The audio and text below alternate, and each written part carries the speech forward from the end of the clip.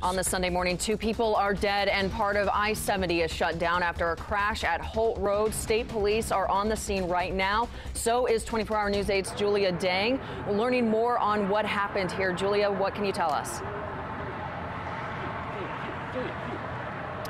Yeah, Drew, we are on the overpass right now above the interstate, and uh, just behind my shoulder, you can make out flashing lights from multiple emergency response vehicles. Uh, take note how cars are moving in the eastbound lanes, but uh, right now, all the westbound lanes on I 70 are blocked at Holt Road. Uh, here's what we know about the accident right now. Uh, this is all that authorities have confirmed. Two people have died. Uh, other than that, they have not indicated how many people were involved in the accident accident, how many vehicles were involved, or what type of crash it was. Uh, they have not confirmed yet if one of the victims here may have actually been a pedestrian. Uh, we are in touch right now with state police. They have a public information officer heading to the scene right now. Uh, he should be here within about 10, 20 minutes. We are expecting to get another update, but just in the meantime, again, all we know right now is two people are dead. They are investigating the crash right now. They're going to be cleaning it up up,